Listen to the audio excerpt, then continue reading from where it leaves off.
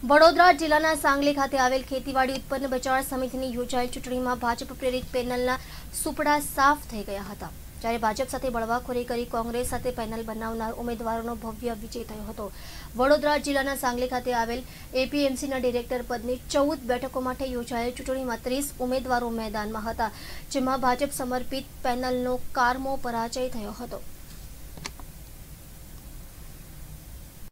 ખેડૂતોની સૌથી મોટી સ્વાયત્ત સંસ્થા એવી સિનોર એપીએમસીની ચૂંટણીનું આજરોજ જે પરિણામ આવ્યું છે એમાં શ્રી સાંઈ ખેડૂત હિતરક્ષક પેનલનો ભવ્ય વિજય થયો છે. ખેડૂતોનો ખૂબ ખૂબ આભાર માનું છું અને આગામી દિવસમાં આ તાલુકાના ખેડૂતોનું સૌથી પહેલું હિત જળવાય એ અમારી પ્રાથમિકતા રહેશે અને બહારના વેપારીઓ જે અહીંયા આવીને તાલુકાના વેપારીઓના ભોગે અને સિનોર તાલુકાના ખેડૂતો છેતરપિંડી કરે છે એવું આગામી સમયમાં નહીં બને. એની પૂરેપૂરી કાળજી અમારી પેનલના સૌ જીતેલા ઉમેદવારો રાખશે. અને આવનારા દિવસોમાં ખેડૂતોને જે ભૂતકાળમાં તકલીફ પડી છે, એનું પુનરાવર્તન નહીં થાય. એની પૂરેપૂરી કાળજી રાખીશું. ભારત માતા કી જય. વંદે માતરમ. જય જય ગરવી.